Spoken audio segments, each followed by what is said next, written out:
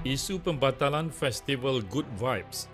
Menteri Komunikasi dan Digital Fahmi Fazil berkata My Creative Ventures akan mengumumkan bantuan untuk artis tempatan dan vendor yang terjejas akibat pembatalan Festival Good Vibes secara tiba-tiba. Ya, uh, kita telah berhubung sebenarnya dengan vendor-vendor dan juga dengan uh, local acts ya. Saya difahamkan uh, the international act saya difahamkan uh, rata-rata telah Uh, menerima bayaran. Tapi uh, para artis tempatan uh, tidak menerima bayaran.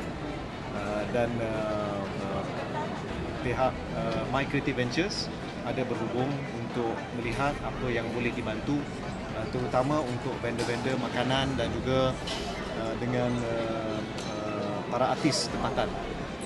Dan uh, saya serah kepada mereka untuk maklumkan apa bantuan yang dapat mereka uh, sediakan.